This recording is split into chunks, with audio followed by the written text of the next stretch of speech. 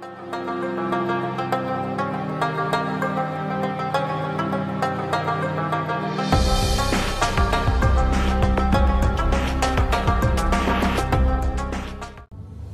mentioned that you have a seven week old who spits up occasionally and you were wondering if there's a cause for concern, what's the reason behind spitting up, and if you should think about changing formula.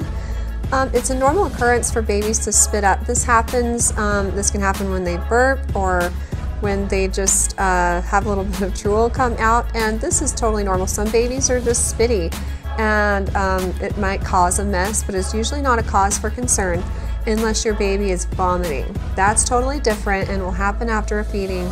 And um, there's more volume that comes out. And one pediatrician said once that if you put the baby on your chest and you're burping them over your shoulder, if the baby simply just has a little bit of drool over your shoulder, that's just considered spit up. But if they, if the, you know, drool or spit up or vomit, whatever you're wondering what it is, goes over the shoulder, it actually is vomit.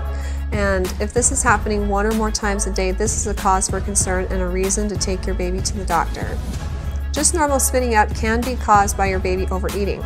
So you could try nursing your baby for a shorter amount of time, burping, um, and then finishing the feeding. And don't underestimate the power of burping because if your baby has a big gas bubble, it's likely to come out and bring stomach contents with it too. So burp your baby between feedings, give your baby some time to decide if he or she is full, and then finish the feeding, and this might help prevent your baby from overeating.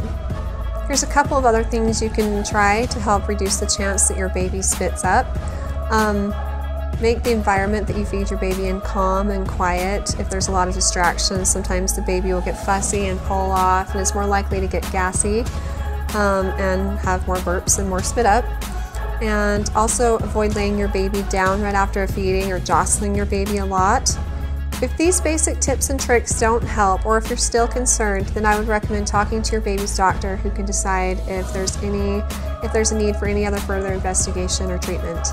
If you have any other questions for me, feel free to ask them on our Facebook page and recommend us to your friends and family too.